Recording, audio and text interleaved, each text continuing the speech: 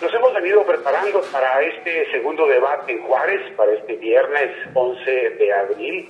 Vamos a, estar participando en esta presentación de propuestas, de, ideas, para que pueda el panista comparar las posturas y las eh, ideas, propósitos que tenemos cada candidato. Estamos muy entusiasmados, muy contentos, porque este tipo de debates que tiene una implicación hacia el exterior del PAN es la más importante de todas Acción Nacional no solamente se debe a sus propios intereses partidarios al interior de la organización, no, solamente tiene que ver con candidaturas o votos, tiene que ver con propósitos estructurales.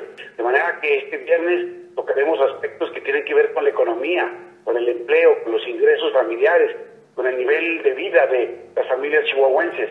Me dará mucho gusto tener la oportunidad nuevamente de presentar las propuestas de Ramón Galindo a todos los panistas, de manera que puedan comparar las posturas que tenemos los diferentes candidatos y en toda libertad y en toda responsabilidad emitir un voto que nos permita hacer las cosas diferentes.